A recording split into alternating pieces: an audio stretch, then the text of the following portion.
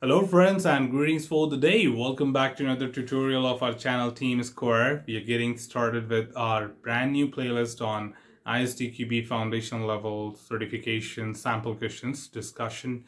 However, we do have an existing playlist on 3.1. I would not say that that gets retired. The reason is uh, for 3.1, uh, we have added some more new topics to make 4.0. So the sample paper discussions of 3.1 is still going to be very much valid for getting all sort of tips and tricks if you're required to prepare well for your certification. So it's not that this is the only playlist what you should be watching in order to prepare well for 4.0. You can still watch the other playlist 3.1, which would have a lot of tips and tricks for you to crack this examination. However, just to not confuse people who might be interested to see only 4.0 or saying that, oh, this is an outdated playlist, we would like to create it as a separate playlist, but just wanted to let this know in the beginning of the uh, session just to make sure that you don't miss out the best from this channel.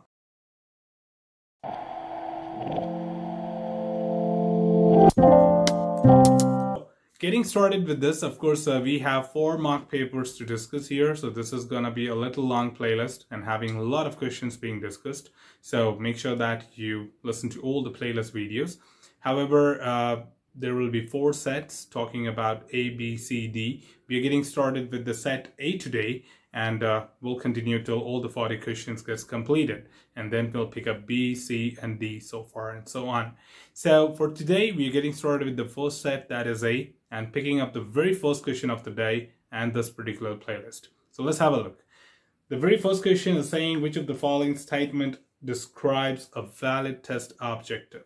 Now, remember, those basic principles what you probably know already if not i'm just gonna repeat it once again here whenever you have the context very clear in the question provided to you then make sure you stop there you make a pause and start recalling what you know about, about it right for example if you say you have got the test objectives being asked to you then you should start recalling that what are the common test objectives of testing what i remember during the examination, right? So say I may talk about finding failures or finding defects, then reviewing work products, reducing the level of risk, making sure the non-functional, functional, uh, contractual, regulatory, all those requirements are in my bucket. So just recall everything, right? That would help your job to get to the right answer quickly. At the same time, being confident with the right answer would be very important here because getting an answer not necessarily means you got the right answer.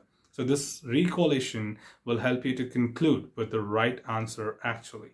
So let's start looking at each of these options and try to understand what do they mean and how we can conclude them. So option A says to prove that there are no unfixed defects in the system under test. I think this statement completely goes in conflict with the principle number one. Testing shows presence of defect, but not their absence.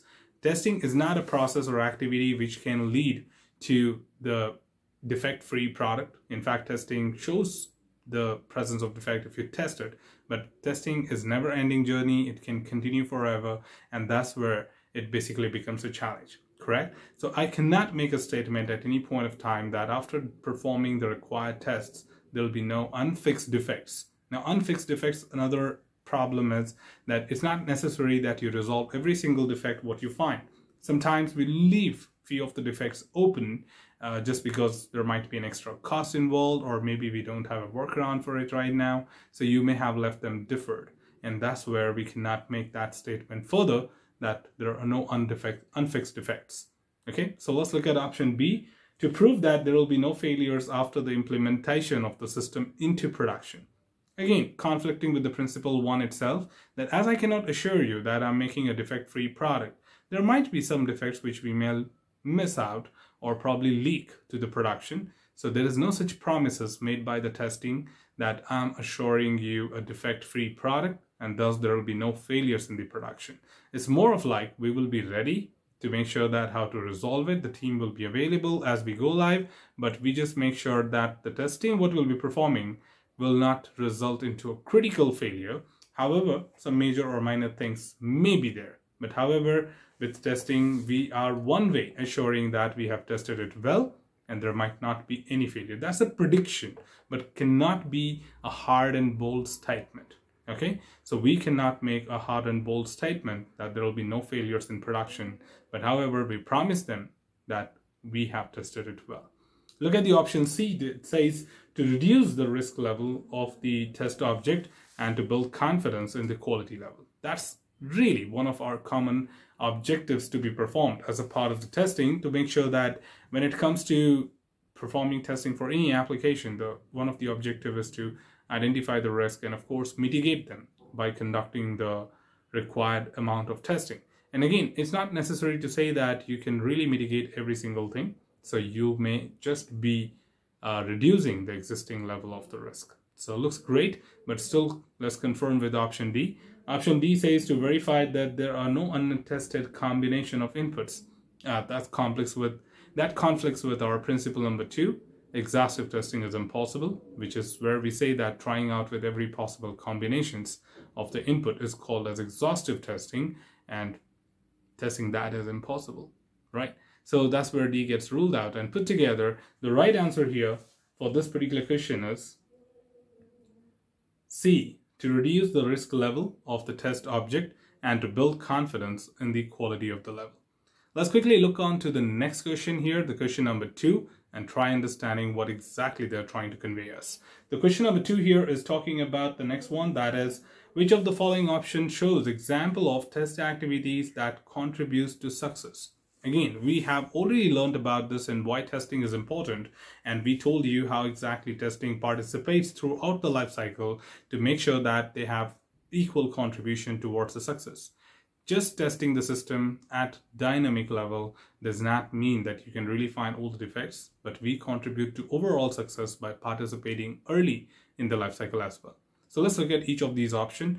Option A says having testers involved during various software development lifecycle activities will help to detect defects in the work product. That's certainly one of our key participation throughout the lifecycle to make sure that we start reviewing the work products or having at least some kind of corresponding test activity to those of the development activity to make sure that we detect defects as soon as possible in the life cycle and make most out of this particular process. So it's not just limited to conducting dynamic testing, but we are good at performing static testing as well. Also, let's talk about option B. It says uh, testers try not to disturb the developers while coding so that developers write better code. Now that looks like a very funny statement because uh, however testers are not someone who are responsible to disturb somebody but more of like uh, they are saying against the question. The question itself is saying how do we contribute to the success? That is by not disturbing the developers. Of course, it's not called a disturbance. It's more of like collaboration. So yes, you can participate at the code review and certainly engage with them, collaborate with them to understand what the code is all about.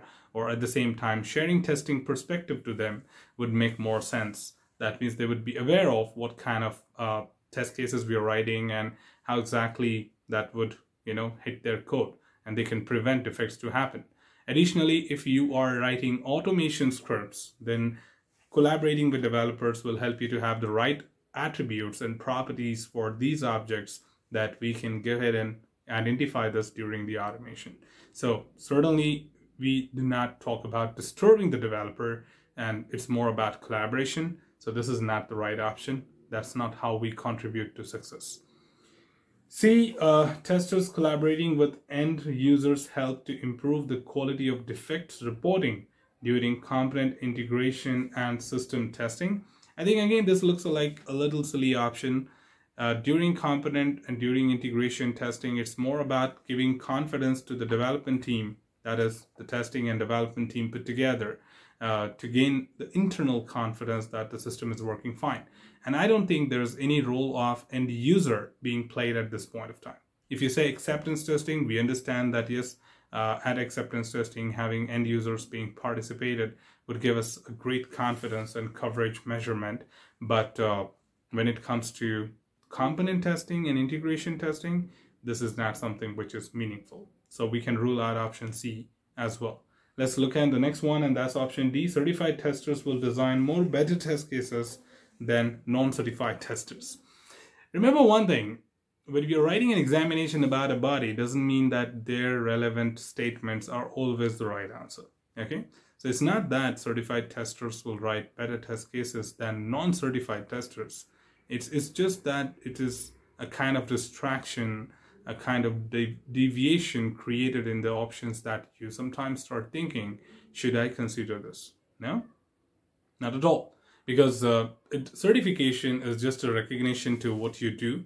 It's, it's not really kind of like going to create any kind of difference in the overall success of the project, right? Your experience, your, your experience matters the way you have been testing this product in the past, how much you know about the product, all these matters as you know you get into that. So it's very important to say your experience would be more playing the better role than that of the certification when it comes to the overall success of the product and how testing contributes to it. So concluding with that, the right answer here is the option A, having testers involved during various software development lifecycle activities will help to defect, detect defects in the work products. So that makes it simple and easy to understand. Now let's look at the next question. That's question number three. And question number three is talking about another one, which is related to principles of testing. You have been assigned as a tester to a team producing a new system incrementally. You have noticed that no changes have been made to the existing regression test cases for several iterations and no new regression defects were identified.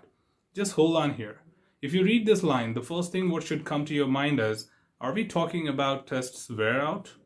Because they are saying clearly that the test suite, which is regression test suite, have not been revised. And at the same time, in past few executions, you have not resulted in identification of any defects. So that clearly signifies that my tests are, you know, being kind of outdated and I think there's a time to look forward to revise the test cases. But let's continue the question with some context in your mind that what you are thinking about. It says that, uh, of course, no regression defects have been identified, so your manager is happy, but you are not. Which testing principle explains your skepticism? I think that makes it pretty clear that our skepticism was equally right with that of the principles. So the question was about the principles of testing, and they were just trying to ask you, no matter you know manager feels happy or not. Remember, sometimes ISTQB creates a little bit of diversion in simple scenarios as well. Okay, they just try to create it in such a way that you start thinking, oh, if my manager is happy, why should I be worried about? No way. Here we are not talking about who is happy, who is not happy. The context is what is your skepticism about this? Okay, for that they just created a statement. So never get carried away by if my manager is happy, why should I be worried about? No, there's the answer does not say that, right? They're just talking about which of the principle is talking about it. And we have straightforward four options. That is test wear out, absence of error fallacy, defects clustered together, and D, exhaustive testing is impossible. And I think we already have the answer with us. The right answer here is a tests wear out. And the other options are right other principles. Absence of error fallacy talks about requirement. And if we say defects clustered together, that talks about accumulation of defects. And exhaustive testing is impossible is talking about trying out with all possible combination of inputs and testing the system, which is absolutely not correct. So for today, we'll just keep it to these three questions. We'll come back and talk about more questions one after the other. So that's all from this particular tutorial team. Should you have anything else, feel free to comment below. I'm always there to address your queries and answer them well. Till then, keep learning, keep exploring, keep understanding the context. Thanks for watching the video team and happy learning.